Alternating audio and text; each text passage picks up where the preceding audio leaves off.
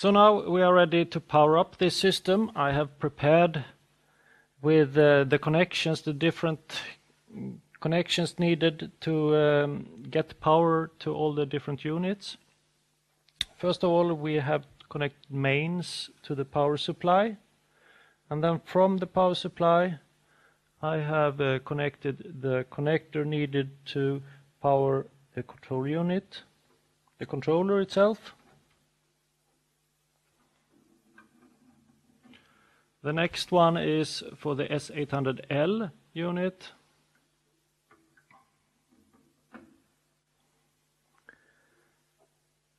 The following uh, I/O modules, they have been uh, connected, uh, powered up and connected through the termination units, both the compact version and the extended version.